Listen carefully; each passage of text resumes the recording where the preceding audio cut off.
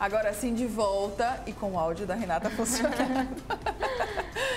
Pois é isso, mas vamos lá, vamos começar tudo que a gente estava falando para que todo mundo possa acompanhar direitinho todas as informações, tá certo?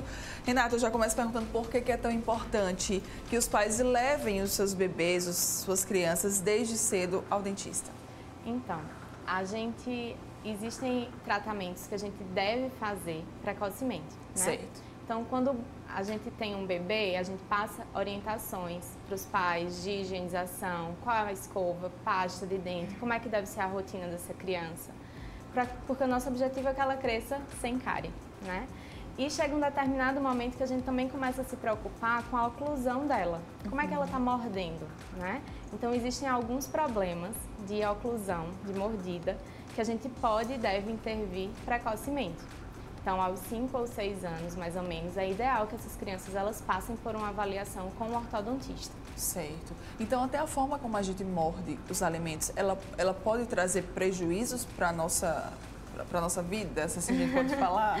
Então, existem alguns problemas, como por exemplo a mordida cruzada posterior, que é quando Sim. a criança morde os dentinhos de trás estão na frente dos superiores. Sim. Então, essa mordida cruzada ela pode ter um impacto também no crescimento e no desenvolvimento da face dessa criança. Hum. Então, existem fatores que influenciam, né?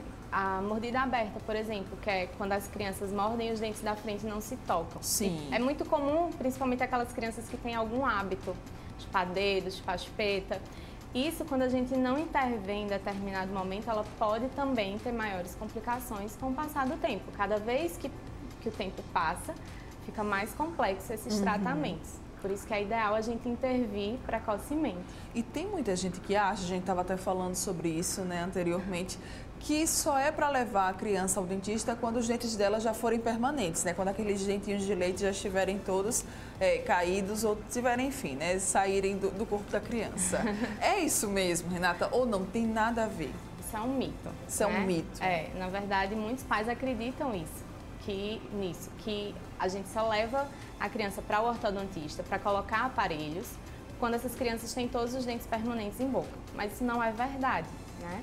Como eu falei, a gente pode utilizar alguns aparelhos nas crianças, sejam eles fixos ou removíveis, uhum. para fazer intervenções específicas, pontuais. Então, certo. Por exemplo, uma criança perdeu um dentinho de leite antes do tempo.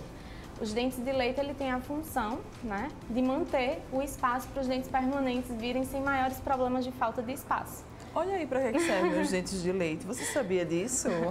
Pois é. Então existem a criança que já tem uma falta de espaço na transição da, dos dentes, na dentadura uhum. mista.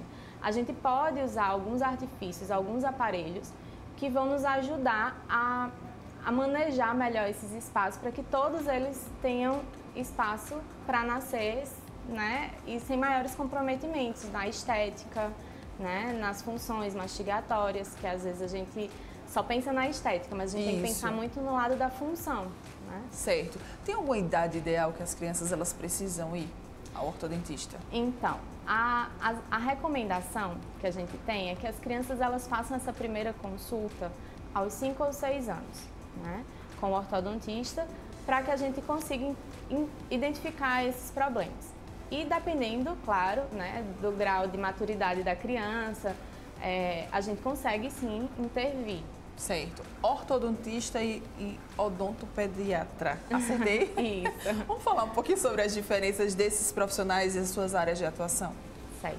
Então, é, a ortodontia, a gente, na ortodontia a gente trabalha com aparelhos para correção da, de mal, maus posicionamentos dentários, problemas é, nos arcos dentários de tamanho. Então, a gente trabalha muito com a questão da movimentação dentária e a gente também tem a linha da ortopedia funcional dos maxilares, que, a gente, que é normalmente o que a gente usa para as crianças. E a odontopediatria faz todo o acompanhamento da, dessa criança, é, é faz as consultas preventivas, faz avaliação de cáries, tratamentos né, pra, de cárie, de restaurações, limpezas periódicas, tudo isso é importante que essa criança ela seja assim acompanhada pelo odontopediatra e tenha uma avaliação com o ortodontista também. Certo. Muitos papais, muitas mamães têm medo do dentista e acabam assim, né, transmitindo isso, transferindo isso para as crianças. Isso não é tão legal, né? Vamos explicar aqui o que, é que acontece nessa primeira consulta, para que a gente possa também até né, esclarecer a, a, para as pessoas que estão nos assistindo por que, que é tão importante ir para o dentista. Então, eu sempre explico que é, quando a gente vai desde cedo para o dentista, a criança ela começa a se habituar com aquele ambiente odontológico. Isso é importantíssimo, porque ela vai estar, é, vai entrar no consultório, já vai conhecer tudo que a gente usa, né? Que Sim. normalmente é para os adultos que já conhecem, às vezes causam, causam algum tra- lembram de alguma história na infância e tem esse trauma, mas quando a gente consegue acompanhar a criança desde cedo, ela vai estar habituada nesse ambiente odontológico.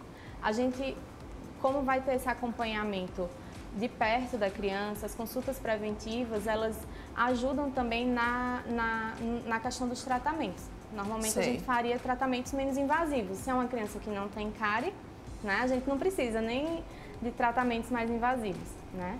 Então, é, é, esse acompanhamento precoce é importante também por isso, porque a gente consegue evitar é, a necessidade desses tratamentos que normalmente é o que está relacionado aos traumas, né? Quanto antes a gente descobre um problema, é melhor para resolvê-lo. Com certeza. Então, A prevenir é prevenção melhor é do que sempre, a- a- eu sempre digo, a prevenção é sempre o melhor tratamento. Então, é, muitos pais é, levam somente a criança quando ela já tem alguma lesão de cárie ou que ela já está reclamando de dor, que está deixando de comer alguma, algum alimento porque está incomodando. E isso não é interessante, porque Uhum. a criança já vai com algum relato de dor. E o nosso objetivo é que as crianças não sintam dor, né, para procurar esse atendimento. Quais são os principais problemas bucais quando a gente fala de, de primeira infância? Então, ah, no geral, a gente fala sempre da cárie. Certo. Né? Cárie tá aí Cárie bombando, né? Primeiro é, lugar. Sempre. É, e ela é multifatorial, então a gente tem que levar em consideração a alimentação, o acesso ao flúor, a dieta dela, Uhum. a, a questão é, desse acompanhamento dos acessos aos serviços de saúde também é importante. Quando a gente fala de ortodontia, dos aparelhos ortodônticos, né, a gente tem aí é, mordidas cruzadas, mordidas abertas, elas sempre estão muito presentes. Né? Tá. E com o aparelho é possível, por exemplo, resolver esses problemas da, da mordida ou já seria necessária uma cirurgia? Não. Não. Com os aparelhos, assim, o que é que acontece? A gente intervém na infância, né, com o objetivo de resolver aquele problema e que a criança consiga crescer e se desenvolver é, normalmente, né, sem maiores problemas. Existem alguns problemas que têm componentes genéticos que influenciam essa maloclusão, como por exemplo as mordidas cruzadas anteriores. A gente fala na ortodontia que é o padrão de classe 3. A criança ela vai crescendo muito, muitas vezes está associada a um crescimento excessivo da mandíbula. Então, quando a gente tem esse fator genético associado, são tratamentos que precisam ter acompanhamentos a longo prazo, porque a gente está lidando com fatores de crescimento, né? E a gente não consegue predizer o quanto que essa mandíbula vai crescer. Então, muita, muitos tratamentos né, podem começar precocemente e a criança vai precisar desse acompanhamento até o final do crescimento dela, depois da puberdade. Você falou sobre isso aqui na entrevista. Eu já escutei bastante isso, que criança não é para usar aparelho ortodôntico por conta do dente de leite, né? Não, não é para usar não, é só para usar quando tiver o dente permanente. E aí? Vamos explicar, vamos desmistificar isso também. Certo. Então, os aparelhos na criança, diferente dos adolescentes que usam aqueles os brackets coladinhos, Sim. quadradinhos, a gente usa outros tipos de aparelho para as crianças. Então, para resolver problemas específicos. Então, a gente tem aparelhos fixos, removíveis, que vão corrigir é, tamanho de arco dentário, a gente consegue expandir o arco. É, quando a gente tem algum problema, por exemplo, de mordida aberta anterior, a gente consegue usar os aparelhos que a gente chama de grades palatinos para diminuir a interposição da língua para tentar resolver aquele problema. Então a gente vai de acordo com cada, cada indivíduo. Então precisa passar por uma avaliação ortodôntica para saber identificar se tem algum problema de oclusão que pode e deve ser tratado na infância. né? Então existem problemas que a gente não consegue ou que não deveria tratar na infância porque não é a melhor época de tratar. Certo.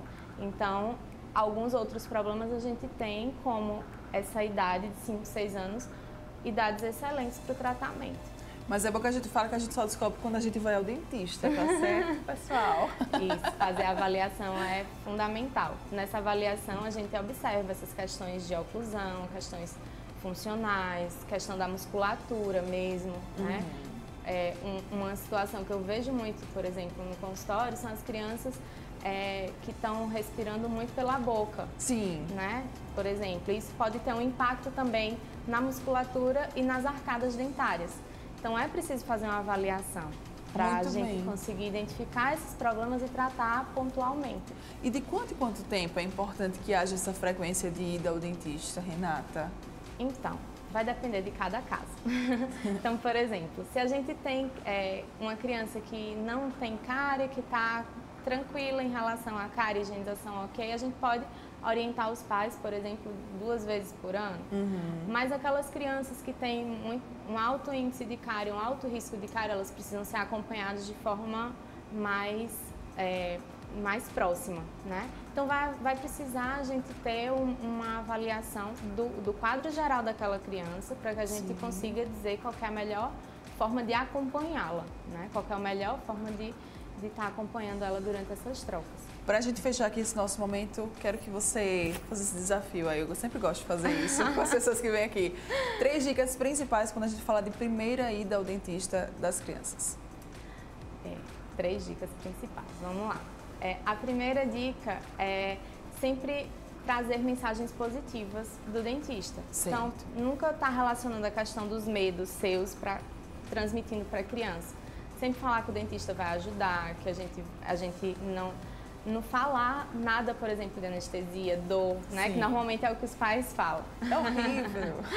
é, é, e essas visitas, idealmente, elas precisam ser frequentes, né? Então, muitas vezes a gente acompanha a criança em determinado momento e a criança precisa estar retornando sempre, porque a, a, dieta, por exemplo, pode mudar nesse, nesse tempo, né? Então, manter as consultas periódicas é importante e não esquecer da avaliação ortodôntica, né? Porque Muito o odontopediatra, ele, ele pode sim também fazer uma avaliação em relação à ortodontia, né? Pode intervir também, pode ajudar em determinados casos, mas a avaliação ortodôntica ela é fundamental.